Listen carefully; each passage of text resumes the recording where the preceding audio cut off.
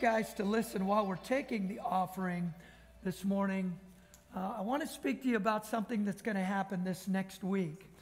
Um, we're going to be in our final message of this particular series, and next week I'm going to be preaching a message entitled uh, No Limits to the Way God Heals. And the Holy Spirit has begun to speak to me and my team and also uh, the prayer team in this that next week, uh, after we get done with the message, we want to call forth all of the sick and those individuals that need healing in their body. In fact, we are going to do service a little bit differently. We're going to do a little bit of worship up front, get to the message, and then save a lot of time at the end so that we can lay hands on the sick and believe for healing. How many of you believe that God still heals people today? And He's more than able. And so I want to say, not only to you, but those that are watching online, maybe you're sick and you haven't been able to come. And I want to encourage you be here this next week. We are going to take the time this next week specifically to pray for the sick in our service. And I'm going to ask you all to do me a favor. I've already asked my pastoral staff and the prayer teams to be in prayer all week long so that when we walk into this building, we're going to walk into this place with a level of faith that is ready for God to move. And I'm asking all of you to join with me all week long in prayer. And let's believe God for some amazing things to happen in our service when it comes to healing. And I will let you know there will only be one individual on display this next week, and his name is Jesus, and he is the only one that can heal. But I'm telling you, when he is present and faith arises, God can do amazing things among us. So, this next week, we're going to be believing God for amazing things for people. I want to encourage you to come and be ready for all that God has in store for us.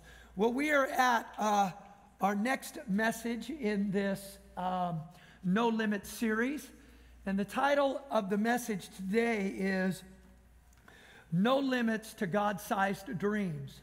So I want you to write this in your notes this morning, if you would. One of the saddest places a believer will ever arrive is doing good things rather than God things.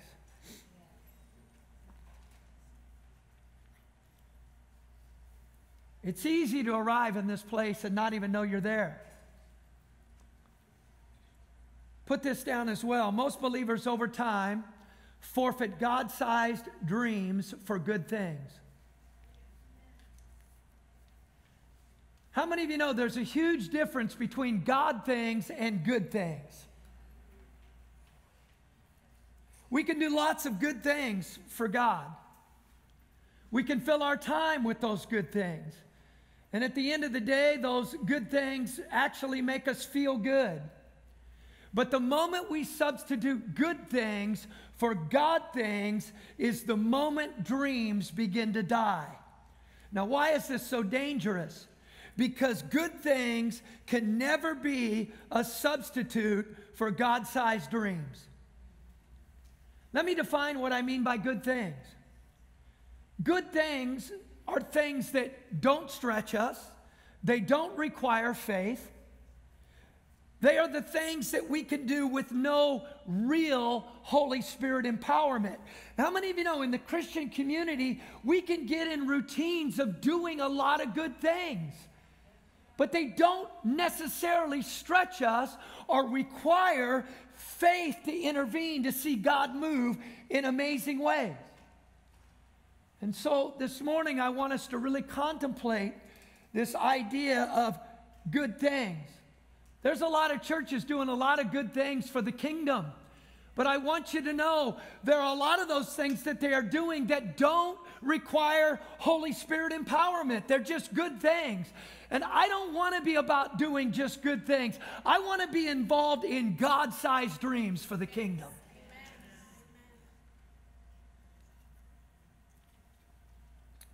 You see, most of the time, a life filled with good things is a life of comfort.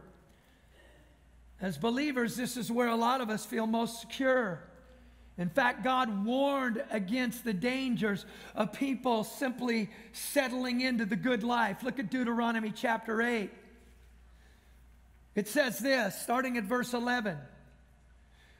But that is the time to be careful. Beware that in your plenty you do not forget the Lord your God and disobey his commands, regulations, and decrees that I am giving you today. For when you have become full and prosperous and have built fine homes to live in, and when your flocks and herds have become very large and your silver and gold have multiplied along with everything else, be careful. Do not become proud at that time and forget the Lord your God who rescued you from slavery in the land of Egypt. Do not forget that he led you through the great and terrifying wilderness with its poisonous snakes and scorpions where it was so hot and dry. He gave you water from the rock. He fed you with manna in the wilderness, a food unknown to your ancestors. He did this to humble and test you for your own good. He did this so that you would never say to yourself, I have achieved this wealth with my own strength and energy. Remember the Lord your God.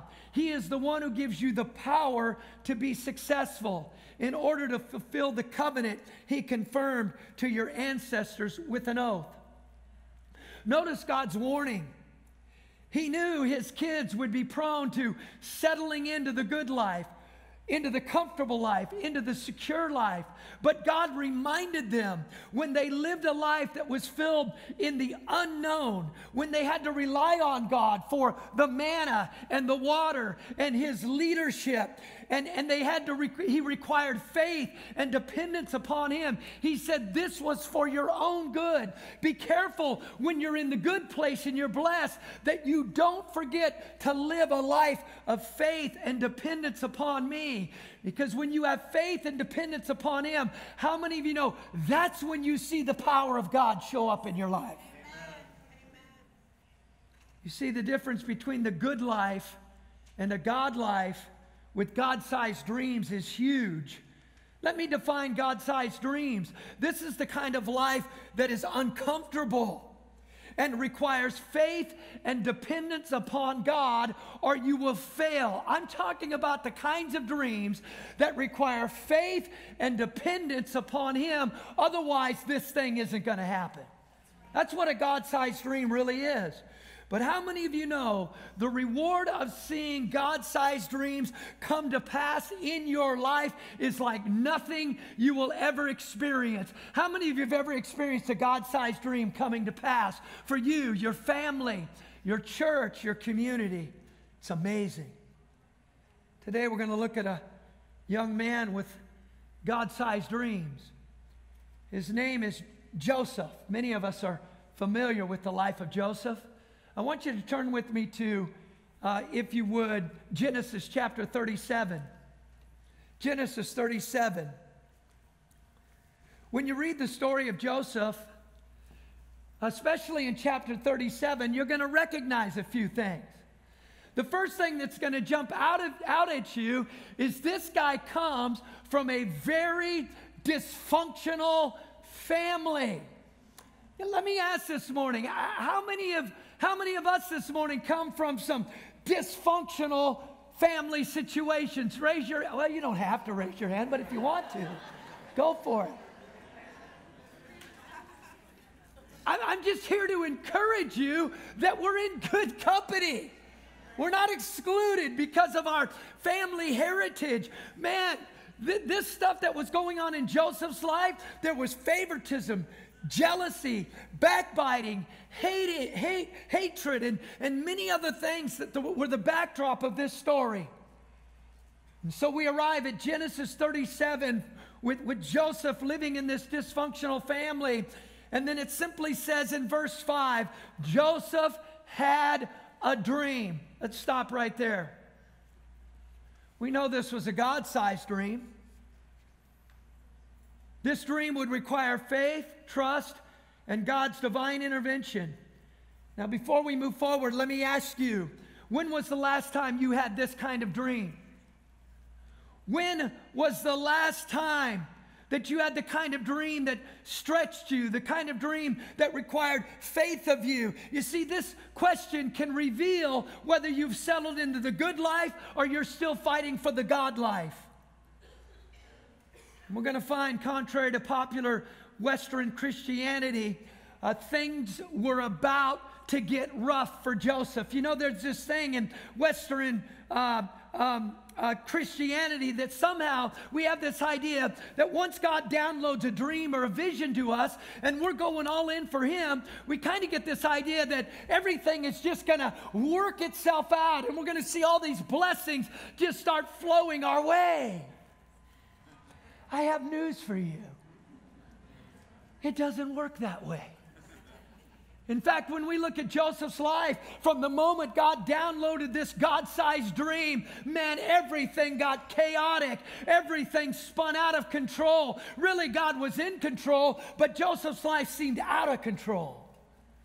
And we're going to glean some things from his life this morning. Let's look at verse 5 and read through verse 11. Joseph had a dream. And when he told his brothers, they hated him all the more.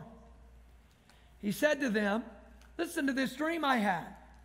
We were building sheaves of, binding sheaves of grain out in the field when suddenly my sheaf arose and stood upright, while your sheaves gathered around mine and bowed down to it.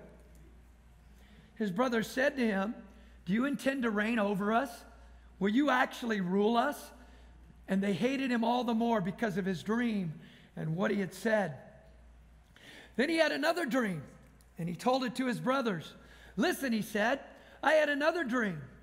At this time, the sun and the moon and the 11 stars were bowing down to me. When he told this dream to his father as well as his brothers, his father rebuked him and said, What is this dream you had? Will your mother and I and your brothers actually come and bow down to the ground before you? His brothers were jealous of him, but his father kept this matter in mind.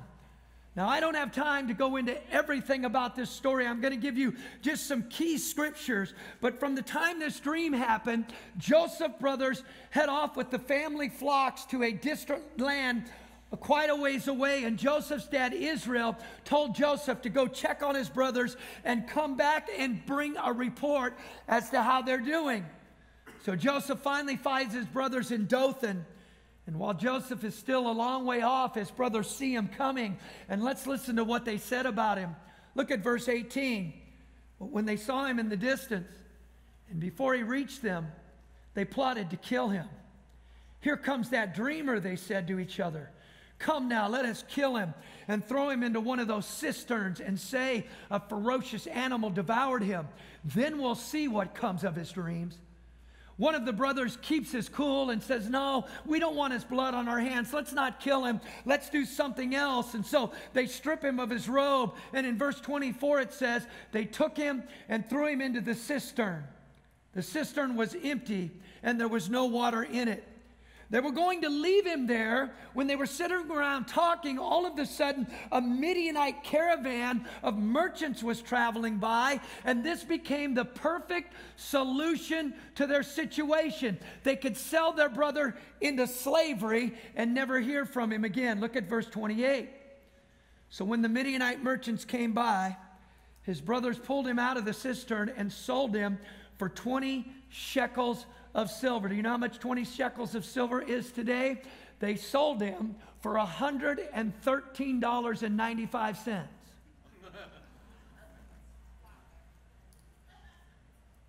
to the Ishmaelites who took him to Egypt.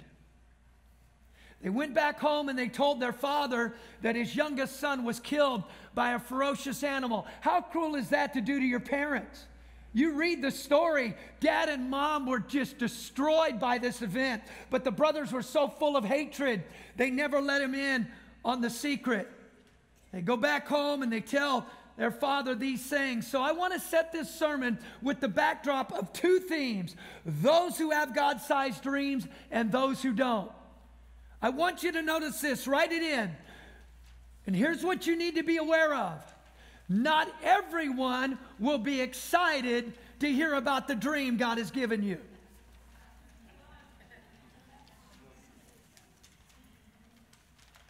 Not everyone's going to get excited about that dream. In fact, people who have no dreams of their own often criticize the dreams of others. So God comes and He fills your heart with something. The something He has given to you, you don't even fully understand. But in your th- enthusiasm, you begin to share your God sized dream with others, and you weren't prepared for the reaction from those around you. Joseph, in his excitement, shares his dreams with those who are closest to him, his family, but his brothers had no dreams of their own. Write this down if you would. Beware of sharing your God sized dreams with people who quit dreaming. Look at Joseph's brother's response. When Joseph arrived in Dothan looking for his brothers, they see him coming, and I want to read it again. This is the premise for the message. Here comes that dreamer, they said to each other. Come now, let us kill him and throw him into one of those cisterns and say a ferocious animal devoured him. Then we'll see what comes of his dreams. There are five things every dreamer needs to be prepared for. If you want to be a dreamer for the kingdom and you're believing God for God sized things in your life, five things that you need to be prepared for when it comes to following those God sized dreams. First, write it down. You will be misunderstood. Look at Joseph's brother's response. Here comes that dreamer, they said in verse 19. Now, this was a sarcastic phrase, not intended to be flattering. In fact, the actual construction of the Hebrew phrase is the master of dreams. Commentators say that phrasing means this it could have meant one of two things that Joseph wasn't a master of interpreting dreams, but simply dreaming them. He was the contriver of them and only pretended to have them when he really had none. So they were accusing him of just making this stuff up. Or secondly, it could have meant he had frequently dreamed and would always tell them, and they were just sick of hearing about his dreams. Didn't want to hear it anymore. Joseph's dreams were misunderstood by his brothers. When you allow yourself to dream God sized dreams, be ready to be misunderstood. Here's the biggest challenge of all you may not fully understand the dream yourself. Has God ever given you something you don't fully understand it or how it's going to come about? and then you begin to share it with others and they're just kind of looking at you like, wow, that's interesting. Are there any of you that God has called you to do things and you're you're misunderstood right now by those that are around you? Here's what I want to say. Welcome to the club. Secondly, write it down. You'll be talked about. You'll be, ta- you'll, you'll, you'll be talked about. You'll be talked about. Genesis 39 19, here comes that dreamer. They said to each other, I imagine. Can you imagine? What were his brothers saying about him when he wasn't there? As much as they hated him and couldn't stand him, when they sat around that fire in Dothan watching those, those flocks at night, what were they saying about their brother? How were they ridiculing him? How were they tearing him down? You see, God oftentimes puts us in a precarious position. He will give us God sized dreams we don't always understand, and we will follow in faith even if others don't support us. The apostle Paul said it this way. Galatians 1:10. Obviously, I'm not trying to win the approval of people, but of God. If I were still trying to please people, I would not be a servant of Christ. It's not going to be easy to follow a God sized dream. Thirdly, put this down you'll be, you will be discouraged from dreaming. You will be discouraged from dreaming. I call these people dream killers. Look at Genesis 37, verse 20. Come now, let us kill him. You see, if they kill Joseph, what happens? They kill his dreams with him. People who don't have God sized dreams can discourage you from having your dream, dreams of your own. And I say, be careful who you share them with. There will be those that will come against you, have things to say about you. There will be those that will discourage you. When's that ever going to happen? How long's it going to take? How's it going to come about? Why are you giving so much money anyway? Why are you doing this? Why are you doing that? Can you see how slowly that begins to kill the dream that is inside? Be careful who you share your God sized dream with. Number four, you will be attacked. You will be attacked. Come now, let us kill him and throw him into the cistern and say a ferocious animal devoured him. Two metaphors I want to share with you here. Number one, you can be attacked by people, sometimes those closest to you. You'll be attacked by people when you start to move in the direction of God sized dreams. But secondly, they talked about a ferocious animal. I believe there's types and shadows in the Bible. The Bible talks about in the New Testament, the devil is like a roaring what? lion seeking whom he may devour. How many of you know also with God sized dreams, the enemy is going to come and attack you as well? You will be in spiritual warfare fighting for those dreams to come about. Two sources of the attack. Lastly, under this point, you will be dismissed. Look at Genesis 37, verse 20. They said it in a dismissive way. Then we will see what comes of his dreams. We'll see what happens after this happens. We'll see what comes of his dreams. Just remember the enemy will use any combination of these things to discourage you and try to keep you from seeing God sized dreams come true. The first five things are the things that will come against you. The next things are the things that are going to happen to you. Three things I want to mention. First, write it in God sized dreams will always stretch you. People often ask me, How do I know if it's the Lord? And I want to say there are many ways to test if it's of the Lord, and I don't have time to cover them all this morning, but the first initial indicator that it's of the Lord is when God drops something into your heart and it initially scares you.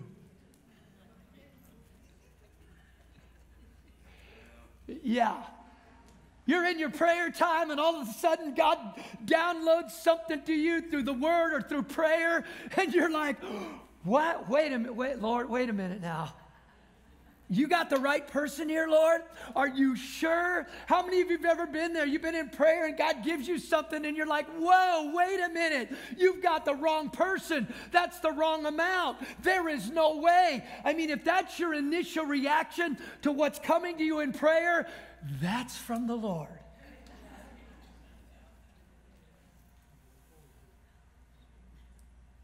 There have been many things over the years that God has dropped into my spirit, and I've absolutely been scared to death, not in a bad way, in a good way. That's when I know it's not from me because the dreams I would dream, I would be able to accomplish. God sized dreams are always impossible unless God shows up. Number two, write it down God sized dreams will move you out of your comfort zone. Notice with Joseph, after he shares his dream, his life was about to change forever. Everything that was familiar was now about to change. One minute, he's with his family, he's in a familiar setting, he's in his hometown where he grew up, and the next minute, he is sold into slavery and on his way to what seems like an uncertain future.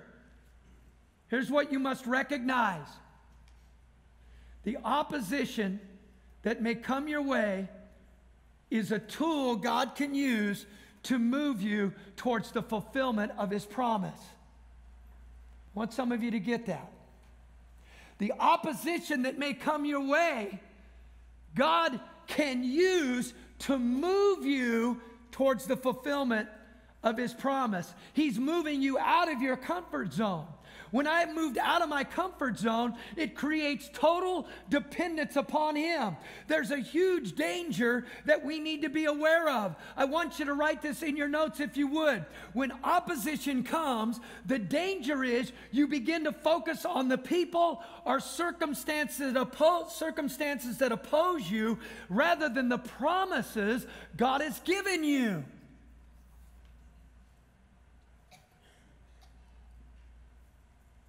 What if God is using opposition to align you with His promise? Instead of getting upset by those who oppose you or circumstances around you, why don't you start praising God for what is about to unfold? How many times do we get fixed on the instrument that God is using rather than the promise He's given us? We get fixed on people and circumstances, and I can't believe how they're acting and what they're doing and this and that. Have you ever thought that maybe in response to the dream that God has given you, those responses are pushing you in a direction so that this thing can unfold?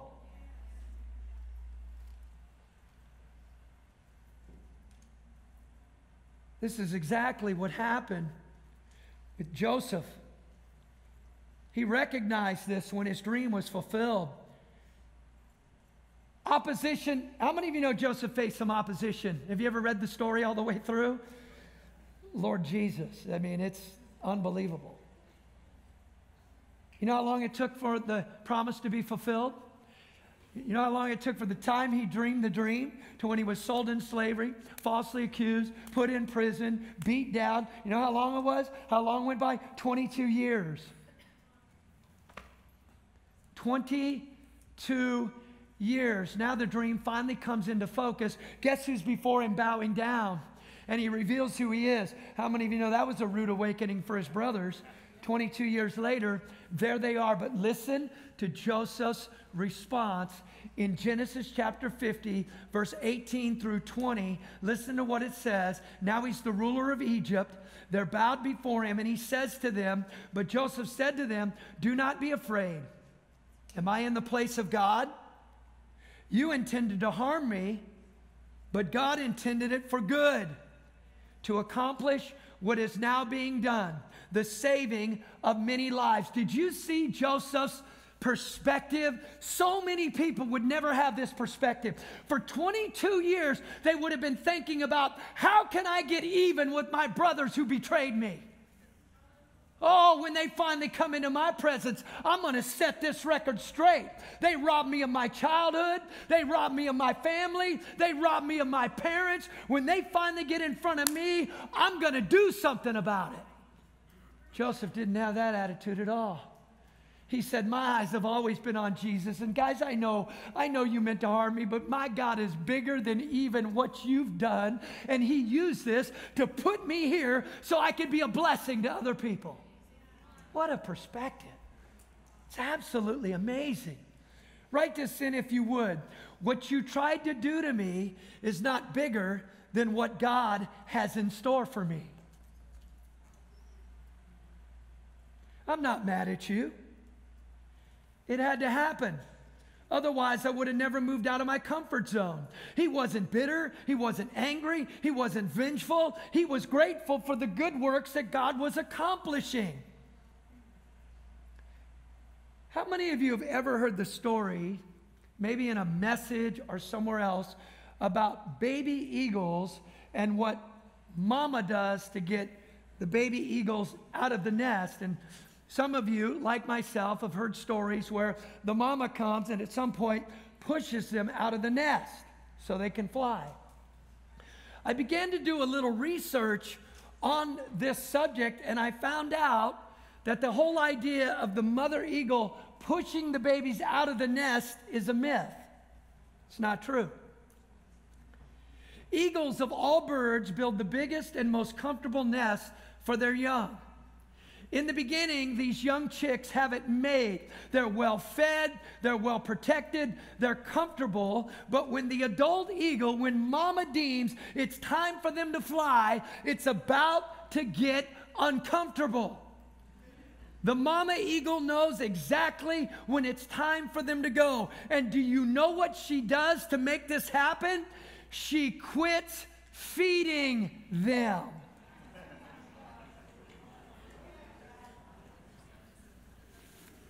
Man, I could do a whole nother message for parents on this one.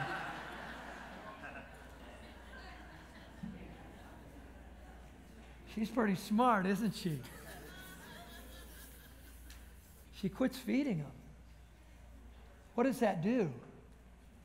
See, they're in that nice, beautiful, comfortable nest, getting fattened up. Mama's doing all the work, just hanging out. And when they finally come to the right time, Mama says, Enough. You've been comforted enough. You've been coddled enough. It's time for you to get your wings. And so she quits feeding them. And when she quits feeding them, a hunger starts to be created. And it gets so intense that it starts to move them to the edge of that nest. You know what else she does to encourage them a little bit? I love these mama eagles. You know what she does as they're starting to get real hungry? She will fly in with food in her mouth outside of the nest.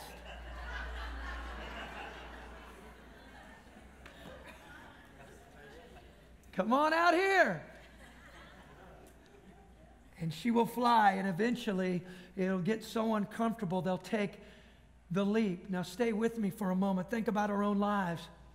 When we're comfortable, we're in a comfortable place, and spiritually speaking, our belly is full. When we have all we need and things are comfortable and we're in a routine, there's no need to go any further. L- listen, when you get too comfortable and stay too long. It's easy to stop dreaming when your belly is full, when, when, when, when, you, when you don't feel like you need to fly. But listen to me this morning God comes along and He wants to give you God sized prayer, uh, God sized visions and dreams. And how many of you know most of those aren't answered when you're in the comfortable nest? Most of those are answered outside of that nest. Some of you have been praying and, and, and you're following that, that dream and you're like, God, God, where are you? I don't sense you. And here's the thought that came to me with this illustration. He's saying, Listen, no, I, it's not that I don't love you. I do love you. But I'm not going to feed you right there anymore. You're not going to get it the way you've always got it. You've got to come to me. I'm over here. Come on out of that area and come to me. I'm going to teach you something new. I'm going to take you deeper. What we did before isn't going to work any longer. It's not that He's cruel, He loves you and He wants to launch you you to new heights and new places and new experiences. God is moving you beyond your comfort zone towards your destiny. As I wrap this up, write this in, and we'll close this out. God sized dreams require faith. If what you're doing for the kingdom requires no faith, it's not God sized. Yes, we can do a lot of good things in the church that don't, that don't require faith. They're routines, and, and God accomplishes great things. But that isn't where we're supposed to stay. He wants to stretch us and launch us. Ask yourself, when is the last time it required faith of me to do what I'm about to do for the kingdom? And if it's been a long time, you've been sitting in your nest way too long.